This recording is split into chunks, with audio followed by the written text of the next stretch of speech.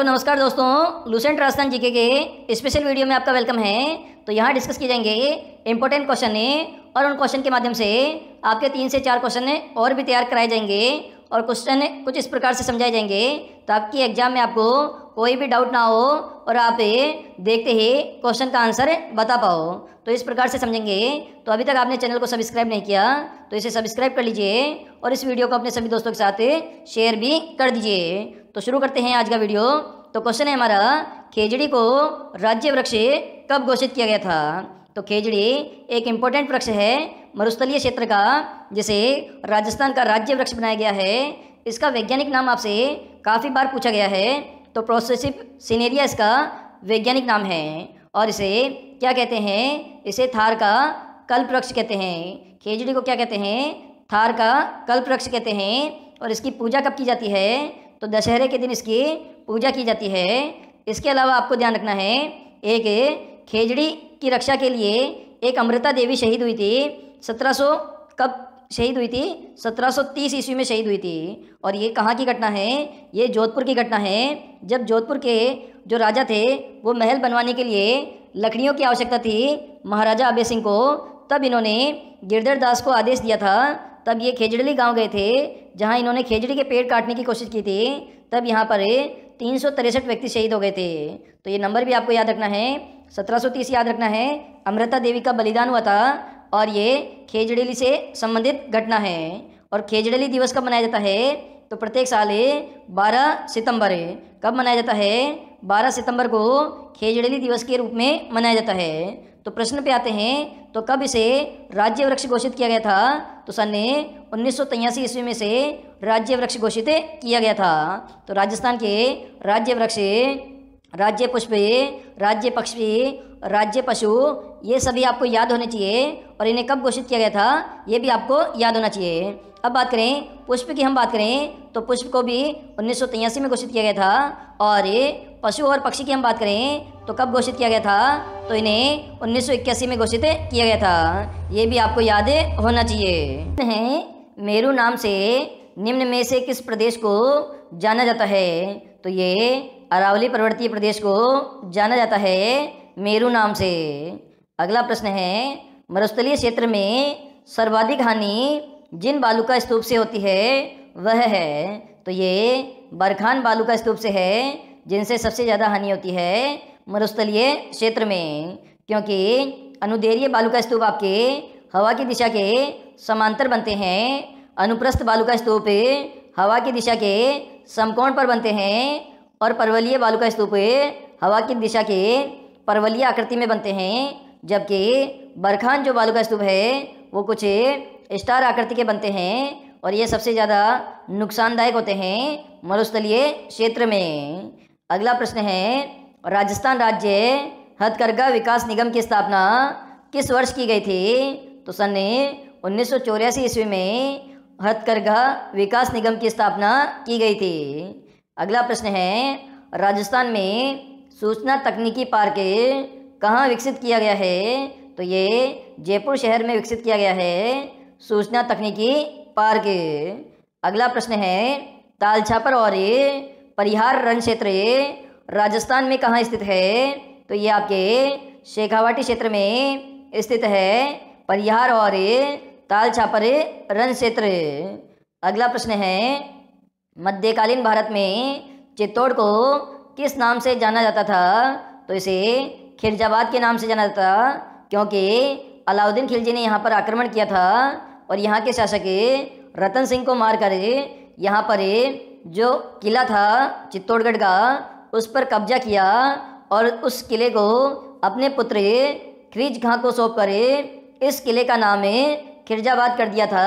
अलाउद्दीन खिलजी ने इस कारण से मध्यकालीन भारत में चित्तौड़ को खिरजाबाद के नाम से जाना जाता था। अगला प्रश्न है, पहाड़ों की नगरी राजस्थान के किस स्थान को कहा जाता है? तो ये डूंगरपुर स्थान को कहा जाता है पहाड़ों की नगरी के नाम से। अगला प्रश्न है बोराट का पठार निम्नलिखित में से किन जिलों में फैला हुआ है?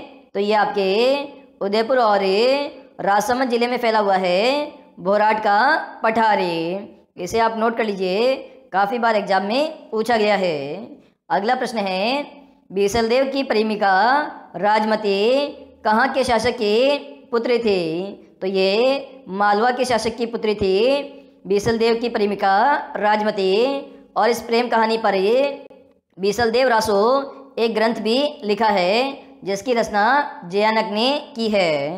अगला प्रश्न है दलपति विजय द्वारा रचित ग्रंथ, खुमान रासों में मेवाड़ के किस शासक की उपलब्धियों का वर्णन किया गया है? तो महाराजा राज सिंह के उपलब्धियों का वर्णन किया गया है खुमान रासो ग्रंथ में, जो कि दलपत विजय द्वारा रचित है। अगला प्रश्न है, खुमान रासो ग्रंथ की रचना किसने की? तो दलपत विजय ने की है। अगला प्रश्न है, राजस्थान में बीहड़ भूमि का सर्वाधिक विस्तार किस ज़िले में है? तो ये सवाई माधोपुर ज़िले में है। बिहड़ भूमि का सर्वाधिक विस्तार। अगला प्रश्न है, पृथ्वीराज विजय ग्रंथ की रचना किसने की है?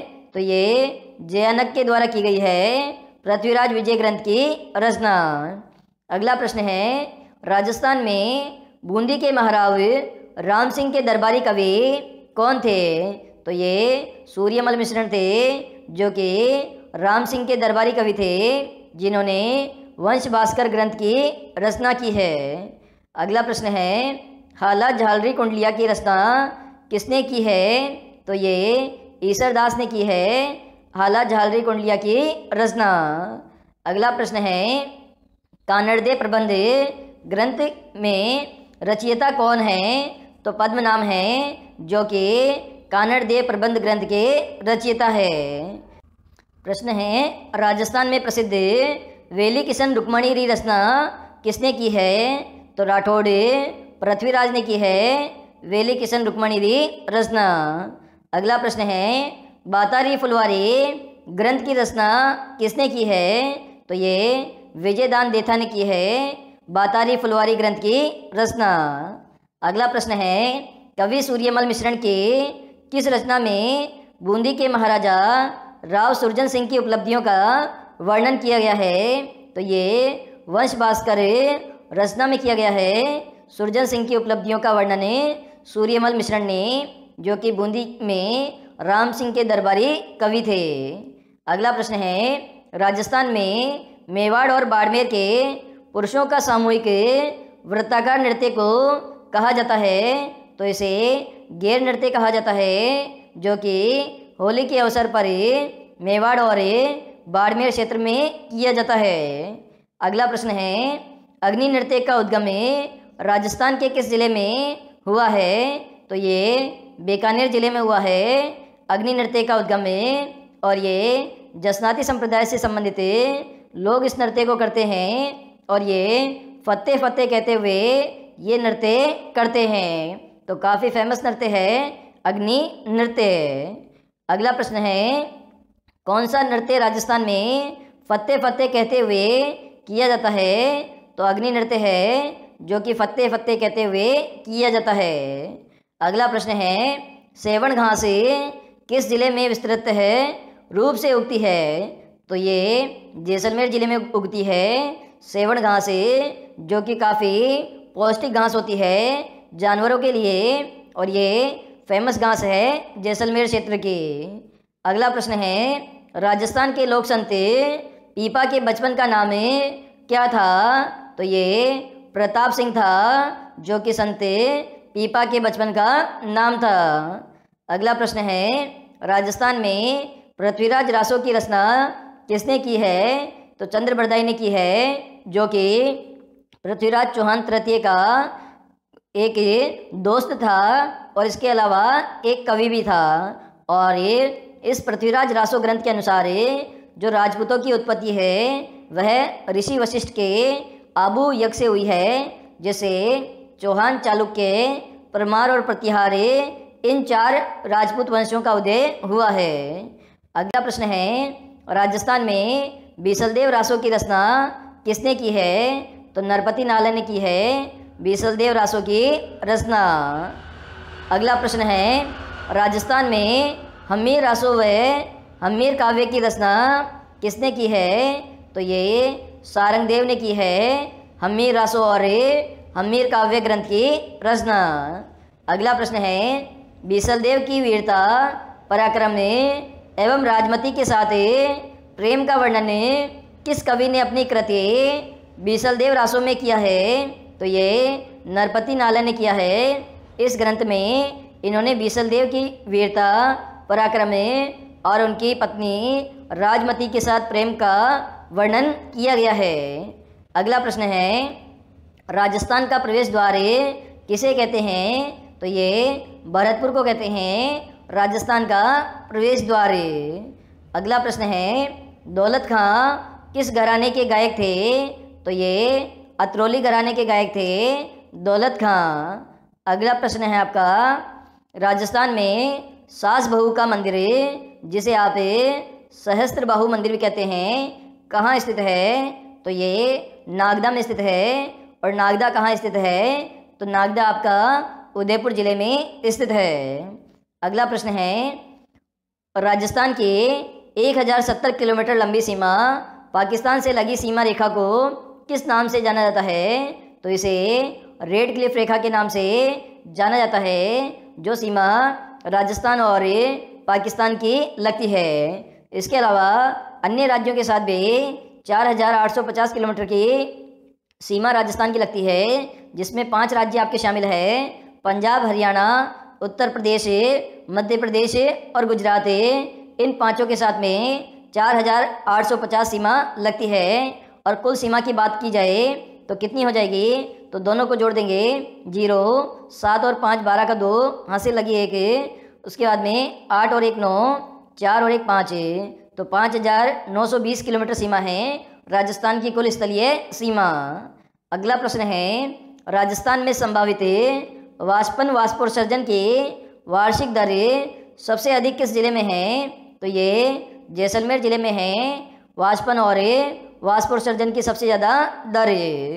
अगला प्रश्न है, ढाई दिन का झोपड़ा के नाम से प्रसिद्ध किस शहर में है? तो ये अजमेर शहर में स्थित है। ढाई दिन का झोपड़ा, जो कि मूलतः एक संस्कृत विद्यालय था, जिसको तोड़कर कुतुबुद्दीन ऐबक ने से ढाई दिन का झोपड़ा नामक मस्जिद बनाई थी और ये राजस्थान की पहली मस्जिद है, ढाई दिन का झोपड़ा और ये अजमेर शहर में स्थित है।